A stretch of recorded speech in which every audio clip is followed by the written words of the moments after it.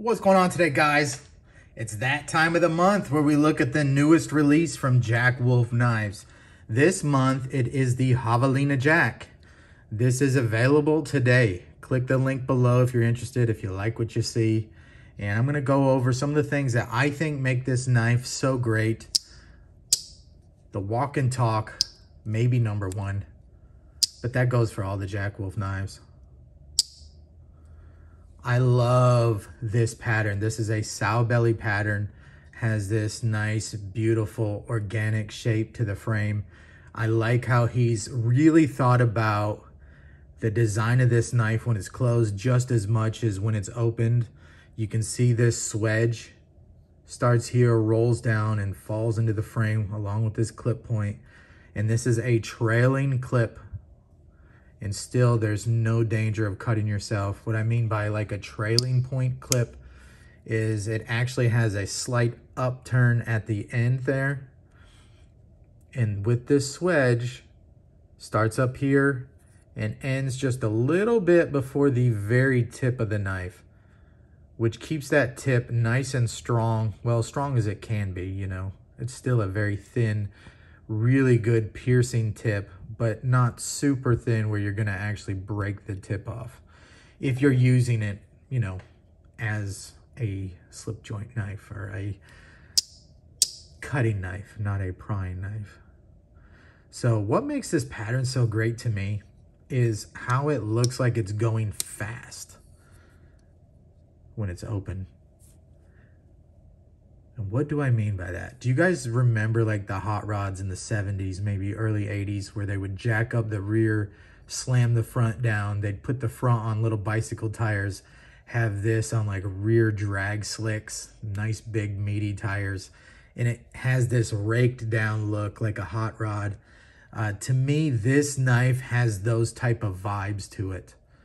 The way that this comes up higher and then about right here to right here kind of swoops down and gives it this little organic, you barely see it, but it is there. This is not a straight line from here to here.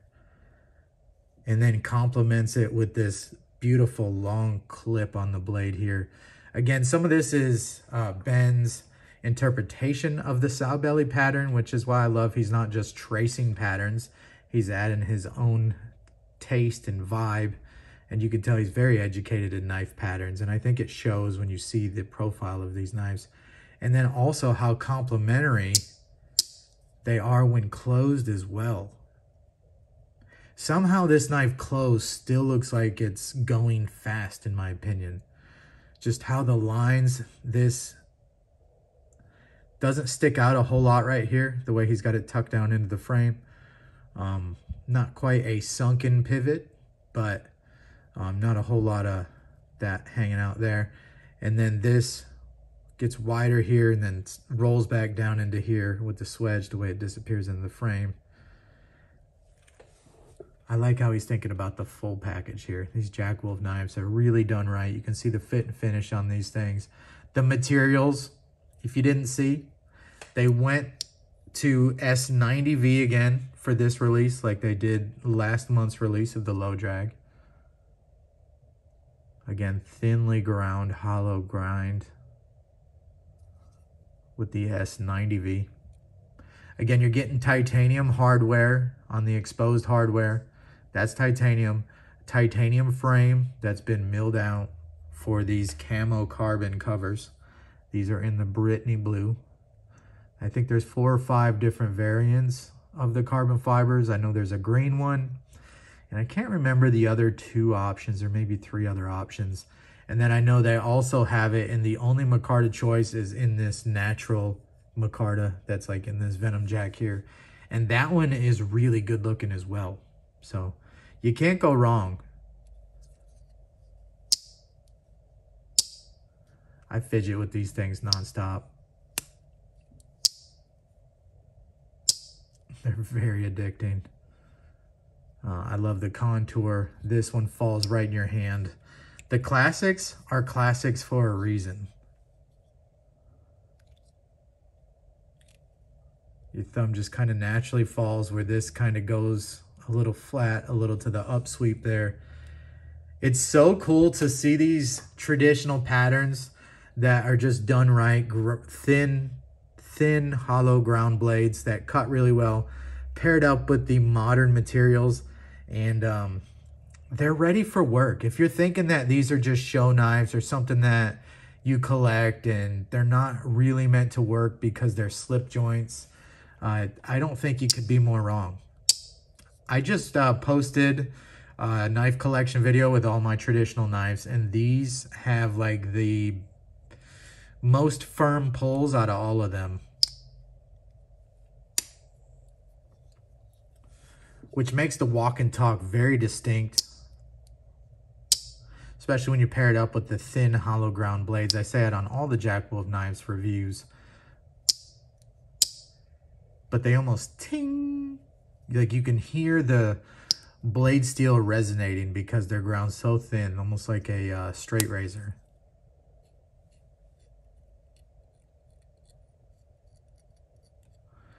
I've been breaking down a bunch of cardboard with this knife over the past few weeks. Uh, we redid my boy's bedroom, so he's got some new floating shelves and things like that, and some uh, closet organizers and things like that. And I broke down all the cardboard into like tiny little three foot strips just to cut with this knife. And uh, I didn't film it or anything, but I've been using the heck out of it. It's so weird because uh, for many years, I've loved traditional knives, but they're usually in 1095 blade steel. And that's something that you can cut up cardboard with, certainly, the 1095. But you wouldn't want to break down like a refrigerator cardboard box into tiny little squares. But with these Jack Wolf knives, with this S90V or even the M390, they're ready to go to work.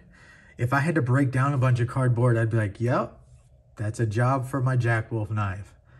they're not just to look pretty. They're not just art pieces. They are functional art made really well, made to last, and really made to work.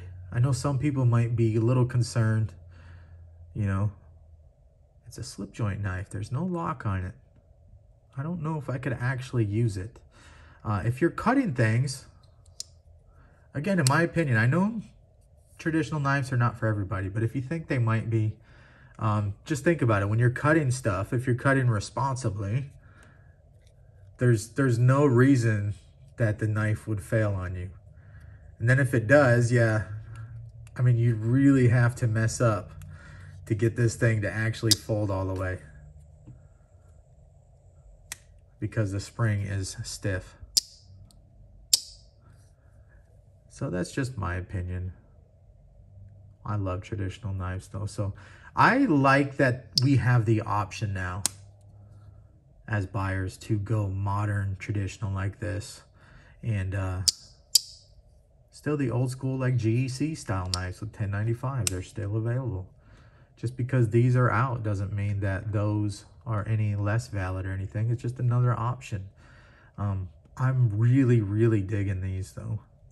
This S90V in the new releases. And I don't know if he's going to keep that up, the S90V, uh, with the newer releases. I guess we'll see. I know no more than anybody else does. So there you go. Here's some clip points next to each other. It's got a little bit of the leather sheath in there.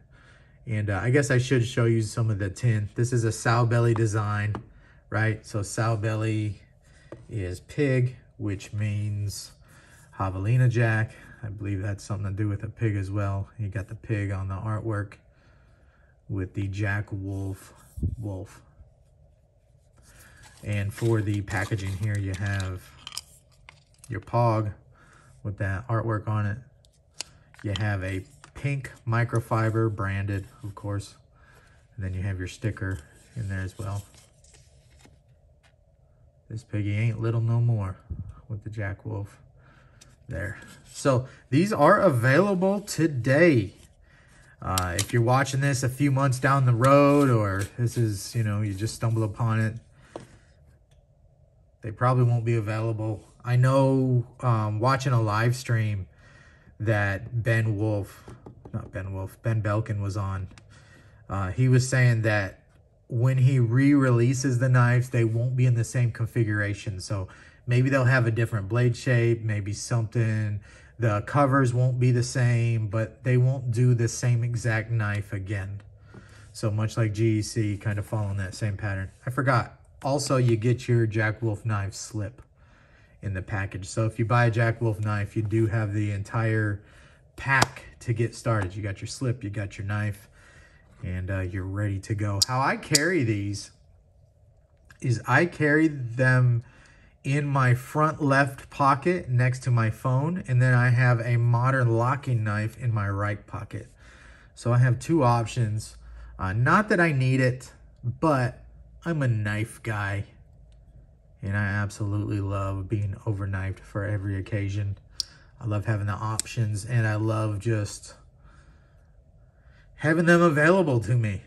There's times where I'm just sitting in a conference call or something, you know, and I'll just start having this guy out, just admiring and kind of like a worry stone, just kind of feeling and doing, you know, how you fidget with things when you're on a conference call or something. So it's not to say that these aren't ready for work. I'm just saying I carry way more knives than I need. And I've been carrying a Jack Wolf knife every day, almost every day, consistently for the past six months or so, seven months. Can't get enough of them. I love that they're ready to go to work with the modern blade steels in them, the thin hollow ground blades, ready to cut up a refrigerator box if needed. And uh, that's it. That is the Javelina Jack. I appreciate you guys hanging out. Plenty more videos on the way. Links below if you're interested in this one. See ya.